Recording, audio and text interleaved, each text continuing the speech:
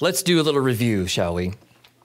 We are talking about a guy named Jacob, who is the younger of two fraternal twins, but he is the one that God has chosen to pass the promise of a blessing.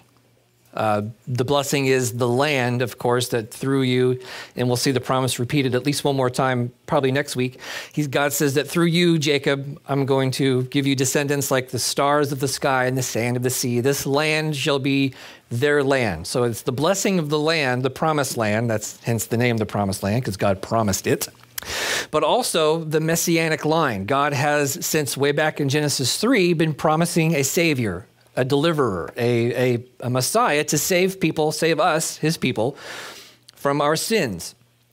And it would come through Jacob's line. Uh, and we'll see that it eventually goes through Judah, his son Judah's line. Um, Jacob was sent away by mom after mom and he tricked dad into giving him the blessing when dad wanted to disobey God and give it to Esau. They had to trick dad out of it. That was one of those situations where no one did the right thing. Nobody did. And yet God's will was still accomplished. It's funny how that happens. Uh, we're going to see that same thing happen in the next chapter, which we'll get to later on. Not today, but later later on. Um, where was I? Oh, yeah. Um, but after that incident, Esau was so mad that he wanted to kill Jacob. So Esau said, I'm, I'm going to kill my brother, but I'm going to wait until dad dies because dad's getting up there in years, and I don't want you know that to be the last thing that happens, uh, that he sees, and you know have dad die that way. Um, but mom and Jacob didn't give Esau the chance to do that because mom sent Jacob away to go hide for a while and said, I will send for you when this blows over. Uh, but for now, go back to where I'm from and find yourself a wife, and, and I'll, I'll let you know when I come back. He didn't see his mother again. His mother dies. We don't know when, we don't know how, but she, she dies between then and the time he gets to come back, which is what we get to talk about today. So Jacob went to Uncle Laban's house to find a wife, and he found four. Not in a good way. it's not one of the times you want to find four when you're only looking for one.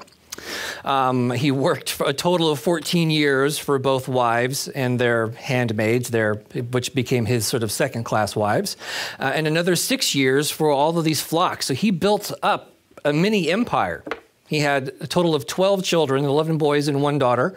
Uh, he had sheep and camels and goats and servants, and he had his own little mini empire going on there. Um, and it was time to leave. Jacob when it, and God said leave, but it was becoming evident like things were getting tense, things were getting like this is not working out well anymore, working for Papa in law. So Jacob snuck everyone and everything away um, because he didn't want to deal with Laban. Papa in law. God had called him away anyway, but he, the only place he had to go back to was home. And what was waiting for him, waiting for him at home, as far as he knew, was brother who wants to kill him. He was waiting for Giant Elmo, if you remember, who wants to kill him because he's this big, red, hairy guy. Um, not something you want to you know, look forward to going back to. So he was, now this is a dumb joke, but I'll, that's what I live for. Um, where he was at Uncle Laban's house was up in northern Iraq, and then back home was his brother who wants to kill him, a real hard case. So he's stuck between Iraq and a hard case. Thank you. I'll be here all morning. Um, you know you like it. You're welcome. To start over. Why, you want to hear it again? Because that's all I got. Um, so he knows he believes his brother wants to kill him. So what he wants, so what he does, Jacob's plan is to split all his stuff up into two groups. That way, if Esau comes across one, he hasn't lost everything. So he splits up his group, uh, and then after that, he starts to send what's he kept with him in sort of mini waves to his brother to as a peace offering. He sent there's here's some milk camels, look, here's some, here's some of this, here's some of that. These little mini waves he's sending in advance of him, hope, hoping that his brother will accept this and not want to kill him. Because again, that's the last memory he has of his brother. Um, on the way home, he uh, on the way back, Jacob has a wrestling match with God, which you can listen to last week's study and uh, catch up with that because that's a whole discussion in and of itself. But we get to the chapter where they finally meet. And again, from a narrative perspective, this really goes with last week's material. Um, but there's some interesting stuff that stood out all by itself in this chapter. So that's what we're going to do today. So let's pick it up with verse 1 of chapter 33. Now Jacob lifted his eyes and looked, and there Esau was coming. And with him were 400 men. in fact, remember, he sent servants out in advance, and his servants came back and said, Yeah, he's coming, and 400 guys with him. And if your last memory is, My brother wants to kill me, what would be your impression at this point? I need new underwear. I need someone to invent underwear so I can have new underwear on, because that's a different, again, discussion. We won't talk about that. But 400 men. So he divided the children among Leah, Rachel, and the two maidservants. So he has, again, 12 children, 11 boys, one girl. One more boy is coming next time. Um, but he, he puts the kids with the appropriate mother. that would just be a bizarre exercise in and of itself. Um, who had you? Okay, I can't remember because there's four of you guys. And you go with him and you go with her. All right. So, verse 2 He put the maidservants and their children in front, Leah and her children behind, and Rachel and Joseph last. So he actually sort of puts them in the order is significant because it's almost this order of importance, this order of significance. And he puts the least significant first, and he keeps the most important last. And in this case, remember that Rachel was the first woman that he worked for. So he keeps her for the very end, and her one natural born child, uh, Joseph. So that's kind of that's why this is going on this way. Verse 3. Then he crossed over before them and bowed himself to bowed himself to the ground 7 times until he came near to his brother.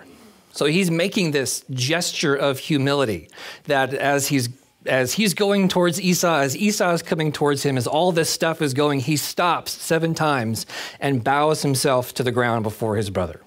He is really trying to avoid not being killed. That's really what he's after. Uh, and I think what we're going to see here in a few moments, I think he's genuinely broken. I think he has 20 years to have chewed on those events. And and he's genuinely he's not just afraid for his life. I think he's actually like that was not cool. I I really want to live so that my brother will forgive me and we can restore this. I think we'll, we'll see that come up here in a few verses, why that's sort of underlying the text. But seven times he bows to the ground. Verse 4 But Esau ran to meet him. And just in that moment, again, there's this moment of confrontation, this moment of hesitation. 400 guys, your brother who wants to kill you, is running at you. What are you thinking in that moment? Uh, what's going to happen? Uh, he runs at him and fell and embraced him and fell on his neck and kissed him, and they wept. The drama. Oh my gosh, the intense drama of this moment. From Esau's perspective, we can only guess he has missed his brother. We're going to see that he wants to embrace his brother. He's coming to welcome him, to greet him with these 400 guys. Jacob's side of this whole thing is I'm dead. I'm a dead man and again, it's going to be at the hands of Elmo, which is creepy. But there's this big red hairy guy coming at me to kill me, and instead, he hugs him, and they just embrace and kisses him on the neck, and they're crying, they're weeping. Wow, what a reunion! That's awesome. That's a wonderful. That's I want to I want to watch this movie when I get to heaven. I want to see this moment. This is so cool. Verse 5 And he lifted his eyes which were filled with tears, and saw the women and children, and said, This is Esau speaking, Who are these with you? So Jacob said, The children whom God has graciously given your servant. Look at how Jacob refers to himself. He doesn't say me, he says your servant. The humility, the, the desire to reconcile, the, the attitude that Jacob has in this whole thing is really admirable these the children whom God has gracious, graciously given your servant. Verse 6. Then the maidservants came near, then all their children, and bowed down.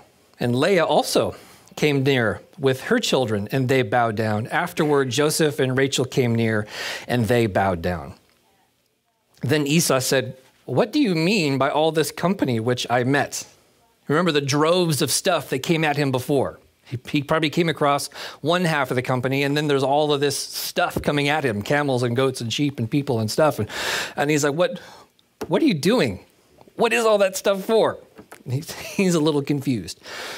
Verse 8 And Jacob said, These are to find favor in the sight of my Lord. But Esau said, I have enough, my brother. Keep what you have for yourself.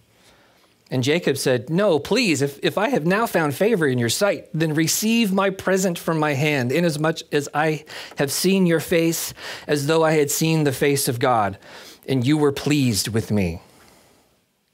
He's expecting this really gnarly, angry face with a knife or a sword in hand, and instead he sees what he compares to, you know, coming coming to God's face, which, he, and again, with the whole wrestling scene, in a sense, he's seeing God face to face and seeing mercy and seeing grace.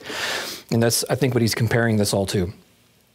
Verse 11, please take my blessing that is brought to you, because God has dwelt, has, nope, God has dealt and dwelt, you could say, graciously with me, and because I have enough. Or, in other words, I have all that I need. So he urged him, and he took it. Now let's, verse 11. I actually had intended again to do several chapters, but verse 11 popped out at me and was like, okay, this, this actually has a little preach to it. So we're going to hang out here for a second. Verse 11 again, Jacob says, Please take my blessing that is brought to you because God has dwelt, dang it, dealt graciously with me and because I have enough. I think what we're seeing here is Jacob wanted to give back what he took 20 years ago. What he ripped off at the behest and manipulation of his mother, what he did 20 years ago. He wants to give it back. And in fact, when he says take, this is not just simply like I'm holding this in my hand, please take it from me. This word for take, it's, it's also a word play. In Hebrew, it sounds like the word Jacob. And Jacob means one who takes by supplanting, one who's sort of a weasel, takes by manipulation, right? So Jacob is, is saying this sort of twist on words to take this from me. That means to be insolent. It means to have audacity, which is what Jacob had when he took stuff from his brother.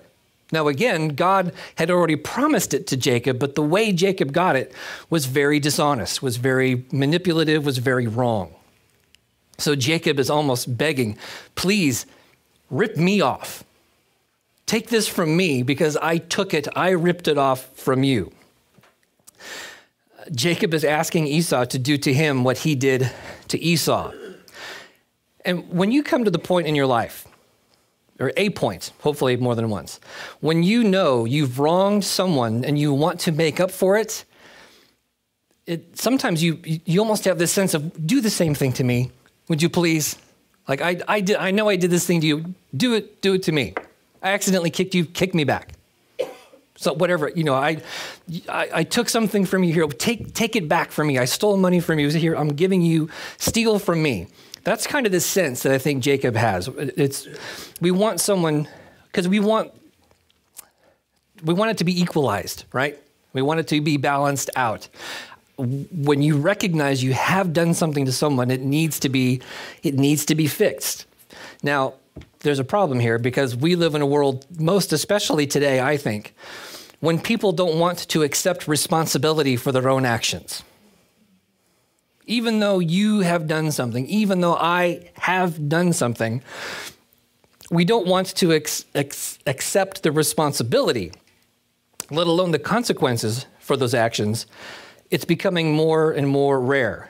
We blame others for our actions. Officer, it's not my fault I, or not officer, somebody else, you're in a traffic accident. It's not my fault that I hit you. I was running the red light and you got in my way. So, what we're talking about, that kind of thing. It's not my fault I did this to you. Yeah, huh? it it kind of is, because you're the one who did the thing. Um, I was running the red light and you got in my way. I don't know what your problem is we don't want to accept responsibility for our own actions, so we blame our actions on other people. Now, in this situation, um, Esau could have done this, and rightly so. He could have blamed Jacob for what had happened, and he would have been right for it. He, he, Esau had every right to to, uh, you know, from their perspective, to, to pursue what we might call justice. Um, but he didn't, did he? He chose not to. Um, what about the times when you are, in fact, on the receiving end of being hosed, so to speak? What if somebody does do something to you? And what, what do you do then? How, how should we react? Well, Jesus does have some things to say about that. Turn to Matthew chapter 5. Matthew, the first book of the New Testament. It's the first book name where things actually start to sound normal. You're past Obadiah and Zechariah and Malachi and all that stuff, and you're actually in normal sounding names like Matthew. Malachi, I know.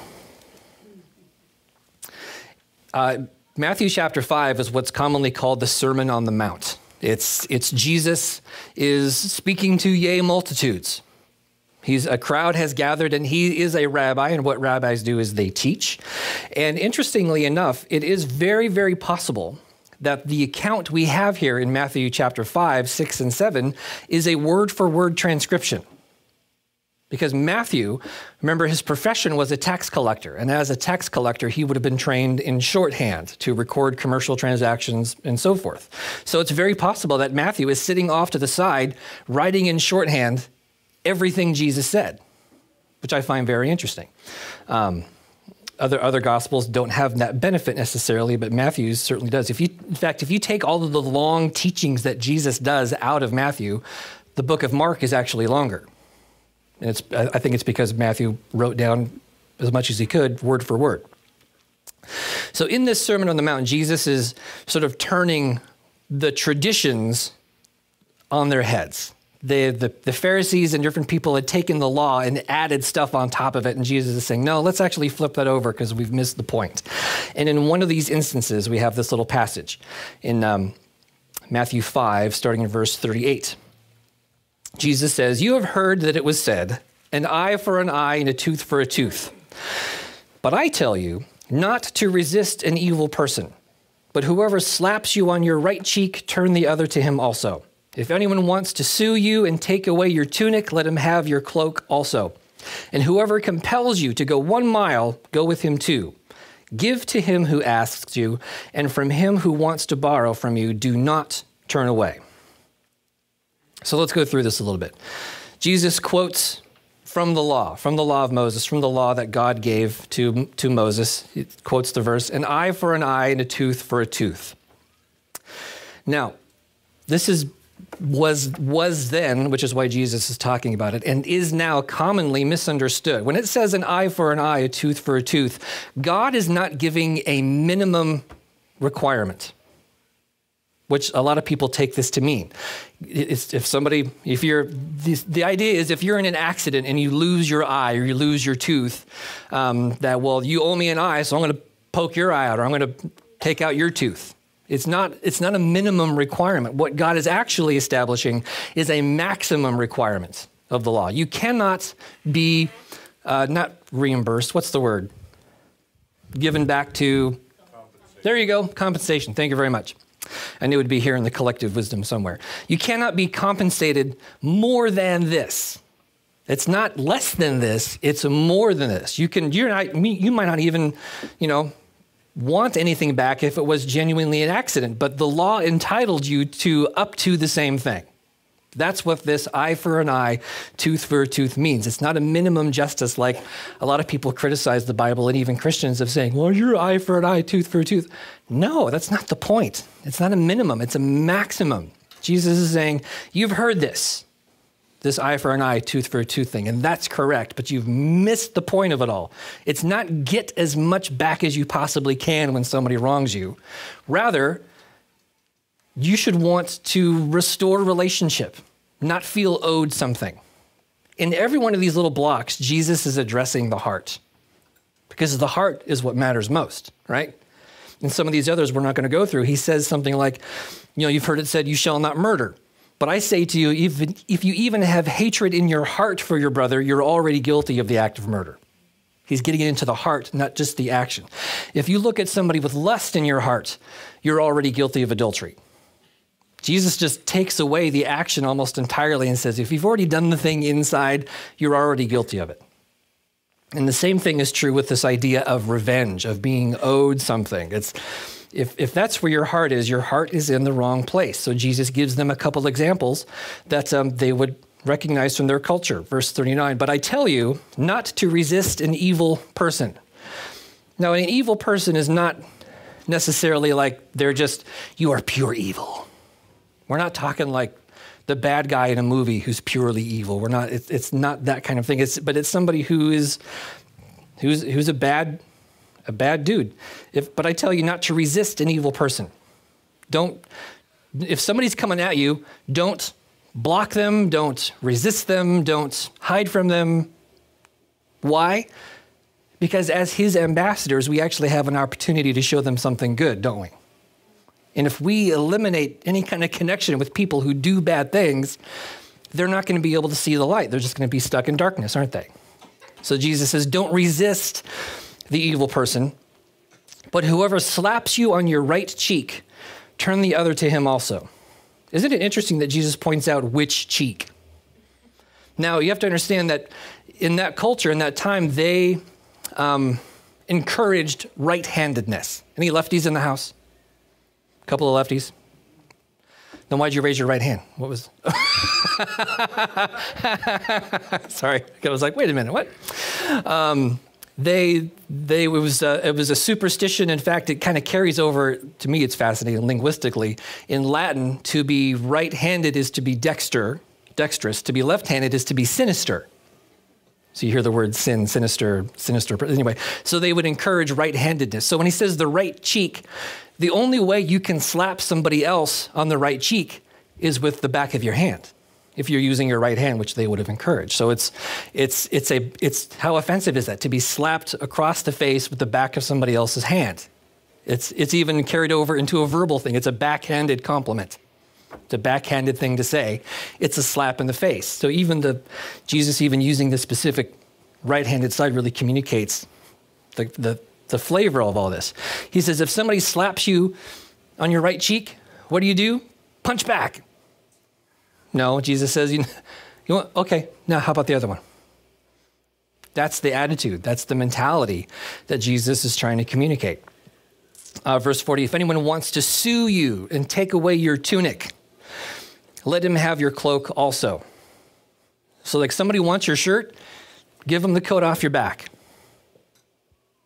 Somebody who has the mentality of going after, and I'm going to sue somebody because I want to get something from them. Where's their heart? It's in a really bitter place, isn't it? What should be the right response to somebody's bitterness? Is it bitterness back? Does that fix anything? Does that do anything for anyone? No, somebody who is in a place of bitterness needs to be exposed to grace, needs, needs to be exposed to God's love, right? This is, sounds completely counter to what our culture wants to say and wants to do. Somebody sues you, you sue them back for twice as much. It's not how Jesus operates. Verse 41 And whoever compels you to go one mile, go with him too.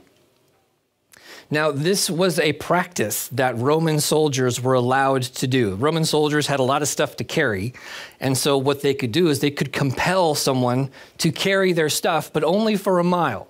And technically, it's not even a mile in the length that we think about it, it's a thousand paces. It's a Roman mile. So he says, when somebody compels you to carry your, their stuff for them, don't just go the one mile, go two. Double it. Go above and beyond, is what he's saying. Um, verse 42 Give to him who asks of you, and from him who wants to borrow from you, do not turn away. We, we tend to be very stingy. We, if somebody needs something, uh, well, what do you want it for? When, when do it, we'll call it a loan, so when are we going to pay it back? Jesus is saying, no, come on, you guys. it's giving, because we serve a God who gives, don't we? So here Jesus is, is addressing all of this stuff with our, if somebody wrongs you, whether you deserved it or not, the right response is not to retaliate but to show grace, to show love. And Jesus is literally the model of this. This is what Jesus did. Jesus practiced what he preached. This is what he did. So file that away for now because we'll come back to some of those thoughts later. Go back to Genesis 33. Esau had every right to claim vengeance. And I guess from whose perspective you could talk about Jacob could have done the same thing because he was had to run away from home, but they both both of them could have fought the other, but instead they did not, which I find very interesting. Verse 12. Then Esau said, let us take our journey. Let us go, and I will go before you. In other words, I'll lead the way so that nobody messes with you. Verse 13 But Jacob said to him, My Lord knows that the children are weak, and the flocks and the herds which are nursing are with me. And if the men should drive them hard one day, all the flock will die because they've been going quite a distance. I mean, so the geography is not very obvious here, but they've it's this has been several days' journey and uh, and stress. Verse 14, please let my Lord go on ahead before his servant. I will lead on slowly at a pace which the livestock that go with go before me and the children are able to endure until I come to my Lord at Seir. And Esau said, Now let me leave with you some of the people who were with me. But Jacob said, What need is there? Let me find favor in the sight of my Lord. So let me leave you like some bodyguards or something. Like, no, just we'll catch up. You go ahead. It's, it's all good. Verse 16 So Esau returned that day to, on his way to Seir. And Jacob journeyed to Succoth, built himself a house, and made booths for his livestock. Therefore, the name of the place is called Succoth, because it means booths or shelters. So it's very not creative, but practical name. Um, then Jacob came safely to the, to the city of Shechem which is on the which is in the land of Canaan, when he came from Padan Aram, and he pitched his tent before the city. And he, and he bought the parcel of land where he pitched his tent from the children of Hamor, Shechem's father, for 100 pieces of money. Then he erected an altar there and called it El Elohe Israel. We're going to talk about this place, Shechem, in more detail next week. It's, this place is still in the news, by the way. It's, um, uh, it's, today it goes by the name Nablus. N A B L U S. Uh, which is sort of a twisting of the Roman name Neapolis. But uh, it's in the West Bank. It's on the border of a couple different places. There's been shootings there. There's been, you know, raids there. Um, the ancient city is still there, so the archaeological stuff is in danger. But it's it's still a very relevant place even to this day. And uh, Jacob's well and this property that they say that you know you can still go visit it. Even Jacob's tomb is said to be there. Um, but again, that's that's next week. But he gets there, buys some land, builds a house or a tent, a, you know, a Bedouin kind of deal, and he erects an altar. He sets up an altar like he's done before in places like Bethel and other, other places. And he calls the place El Elohe Israel, which means God, the God of Israel. Now, in this case, Israel is not a place, is it? It's a person. Who is this person? Himself. Jacob is Israel. We saw earlier that God gave him a new name after that wrestling match. We're going to see that new name confirmed. Uh, a new name is a new identity, it's a new way to relate to other people. He names it after his new name, not his old name. I think that's kind of cool too. It's God, the God of Israel. It's not God, the God of Jacob. That's, that's old me. This is new me. Israel is new me. Who do you live like? Do you live like old you or new you? Because there really is a difference. If you're in Christ, there is a difference. There's an old you and there's a new you, and they fight with each other. They fight with each other to dominate all of you. It's the flesh versus the spirit. That's what Paul talks about. And it is a brutal, ugly fight. It makes the MMA look like, you know, something not like that. I had like five ideas, and they were all kind of eh, looks like you know chipmunks fighting over a acorn or something. I don't know, whatever. And in this corner of the octagon, Chipmunk Dale, Chip and Dale fighting. Anyway, turn off the cartoon, Corby. Let's go. Old you or new you. We actually have, if you're in Christ, you have a source of power, a source of strength, a source that gives you the ability to make the choice as to who's going to win. And even making that choice can be the most difficult part. It's like, I am in this place, I'm in this hole, I'm in this thing, and I don't want to go through the effort of choosing to get out of this because it's too much effort and I just don't want to. Been there? Hello, that's me. Um, but when you do make that choice, it's like it's not even like you are climbing out of on a ladder out of a hole. It's like you are being lifted up out of the hole. It suddenly is like, oh wow, I'm coming up out of this thing. It's really amazing. It's a totally different experience. Like I gotta climb this dumb ladder and come out of a hole. That doesn't work because that ladder goes forever. Why? Because it's your ladder. You will never climb out of your own hole. But the first rule of hole digging is is what? Stop digging. Don't make it any worse. But when you do get to that point of I'm tired of being down in here, the Holy Spirit enables you to make the choice if you choose to make the choice. And it's like something comes in underneath you and lifts you and carries you out of it. And you're like, oh, I forgot this was out here. You can be in a hole so long you forget what's outside the hole. You're like, what's the sky? What does it even look like? What are trees? What are chipmunks? And why do they fight over acorns? How does that work? See, I did that reincorporation. Um, you can forget.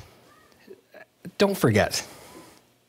That's when you need people to come in and alongside you and remind you remember the trees? Remember the sky? It's fall right now. It's beautiful. Come outside and take a look. You get to make the choice to do that. And when you do, you need to recognize God as God, El Elohe Israel, God, the God of Israel. Um, who, who is your God? If you were to say this, what would be in the part of the El? Who is your God? Can you, like Jacob, say El Elohe Israel? Can you say El Elohe Corby, which sounds way less cool than El Elohe Israel? El Elohe, your name. Can you say that? God, the God of fill in the blank. My God. Not because you're uber cool, but because God is really gracious. Um, there is only one way to be able to, to do this. And it's actually the same way Jacob was able to do it it's through relationship with him. It's not religion toward God, it's relationship with God, which is only possible through Jesus. We have all, this is going back to the stuff in Matthew, we have all been the evil one toward God. All of us have. And he didn't resist. We have all slapped God in the face and he turns the other cheek. We have all tried to argue a case, to sue God and take from him what is not ours, and he gives us more. We have all tried to make God carry our stuff that isn't even his to carry, and he carries it the extra mile. This is all of us. We have all demanded something from God and tried to borrow stuff on our own good works. God, if you get me out of this hole, I promise I'm going to whatever. You ever tried to make that kind of a deal with God? God, if you get me out of this, then I'll be a good person. He's like, uh uh-uh. uh No, you're so cute. No, you won't. I know you. That's not going to happen. We try to borrow on our own good credit when we don't have any credit. What's your credit score with God? Zero. Negative. Bajillion. It's, it, you, we ha- none of us have any good credit with God. God has every right to require an eye and a tooth from us. And you know what? He does. He does require that. For all have sinned. How many? All have sinned and fall short of the glory of God. Here's an eye. I owe you that. The wages of sin is death, Romans 6:23. Here's a tooth. We all owe that to God because we have done these things to him. we believers can do this too, but maybe maybe this is more particular to those of us, to those people who are not believers. But we and the world can get so worked up about how we think God is treating this world. God is so good. Why is this? God's He's not a good. do we ever stop and think about how we treat him? Does the world ever stop and think, consider how what it does affects God and the world wants God to do like nice things back? Is that how it works? it's, it just blows my mind. We ask, what would Jesus do? Which is a good question to ask, but we should also ask, how would this make God, my creator, feel? I have a choice to make. It doesn't have to be a big life choice. It can be a simple, small choice. I'm going to watch this television show. I'm going to, I'm going to go to this restaurant. I'm going to, I'm going to whatever it is. I have something I'm going to say to my spouse. How would that make God feel? You ever thought to, to ask that question? That's a tough one. It truly is. When you consider all of that, the way we, the world, treat God, it really is a wonder that He hasn't judged the world already. We are long overdue. The entire world is long overdue for God collecting that eye and that tooth. Why hasn't He? Because, I'm glad you asked, He is a God who turns and offers the other cheek. He is a God who gives us the coat off his back. He is a God who willingly goes the extra mile. He is a God who gives, and because he is a giver, he never lends. I know God encourages us to lend to those who ask for a loan. God doesn't lend, he just gives. God doesn't let you borrow anything, he just straight up gives it to you. He's a gift giver In fact, that's the rest of Romans 6 23. The wages of sin is death, but the free gift of God is eternal life through you making a deal with Him. No, mine doesn't say that. Does yours say that? Through Jesus Christ our Lord. For God in this way loved the world that He gave His only begotten Son, that whoever gives the church a lot of money, which, you know, the elders wouldn't turn down if you want to do that. It's totally fine. No, that, that whosoever believes in him should not perish, but instead have everlasting life. This is the God that we have. This is the El Elohe Israel. This is the El Elohe Corby. This is the El Elohe. Say your name. Thank you very much, all three of you. Good job. Jennifer? Jennifer needs to shave. That's nasty. Okay. How can you kiss that? That's great. Anyway, that's what God wants for us. That's what God has for us.